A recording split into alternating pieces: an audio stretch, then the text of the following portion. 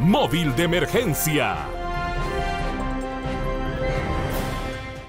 Buenos días, a continuación les presentamos rápidamente un resumen de los hechos más importantes que se dieron la noche de ayer y madrugada de hoy en la ciudad de San Pedro Sula. El propietario de la distribuidora Arias murió en horas de la tarde en una clínica privada después que ingresara con dos heridas de armas de fuego en su cuerpo. El hecho se dio en el interior de su propio negocio, el cual queda ubicado en la 9 calle 8 y 9 avenida del barrio Lempira.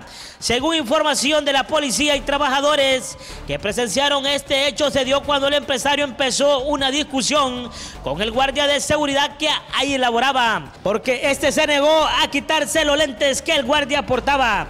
Unos minutos de discutir, este disparó contra la humanidad del empresario que fue trasladado de emergencia a una clínica privada, pero minutos después falleció.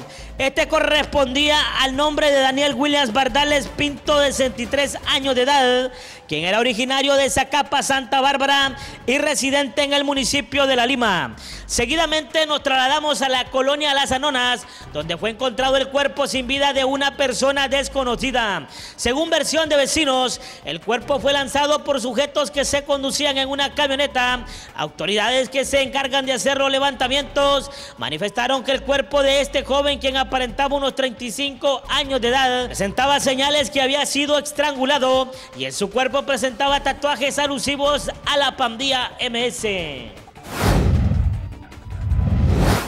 Miembros de la Fuerza Nacional Anti-Extorsión en el norte del país le dieron la captura a una joven del sexo femenino en la colonia Ebenecer del sector de Chamelecón, el cual al momento de la captura se le decomisó dos teléfonos celulares y una cantidad de dinero en efectivo. El nombre de esta persona detenida corresponde a Jennifer Mayanín Aguilar Perdomo, de 22 años de edad, conocido en el mundo de la pandilla 18 con el line Tarnecita. Queremos mencionar que al momento de la detención a esta persona se le decomisó dinero en efectivo producto de los cobros de extorsión, de igual manera dos teléfonos celulares.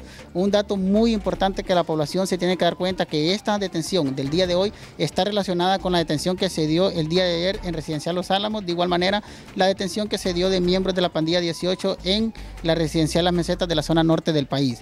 De igual manera esta persona tiene un antecedente el cual era pareja marital de un peligroso pandillero privado de libertad que en estos momentos guarda prisión en la cárcel conocida como El Pozo. El nombre de su ex de pareja es Yair Carvajal Cuellar, conocido con el alias Tiny Columbia, y está guardando prisión por los delitos de asesinato y extorsión. ¿Dónde fue capturada? Esta persona fue detenida en el sector Chamelecón, específicamente en la colonia Ebenecer, al momento que colectaba dinero producto de la extorsión.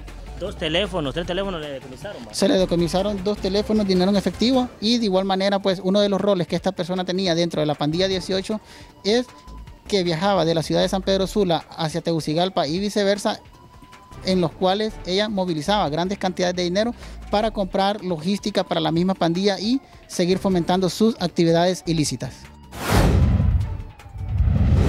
Varias saturaciones realizó la Policía Nacional con apoyo del equipo Escuadrón Motorizado, donde se dio el registro de personas y negocios donde venden bebidas alcohólicas. Este con el objetivo de mantener la paz y la tranquilidad en sectores llamados conflictivos, que comprende el sector del UMED número 7. Hasta esta hora de la mañana no se reportó ni un hecho violento en la ciudad de San Pedro Sula. Esta ha sido nuestra móvil de emergencia en la ciudad de San Pedro Sula, con los hechos más relevantes que se dieron la noche de ayer y madrugada de hoy, con las imágenes y edición de Carlos Roberto Pérez Betancur. Desde el propio lugar de los hechos para HCH Televisión Digital, les informó Orlin Castro. Móvil de emergencia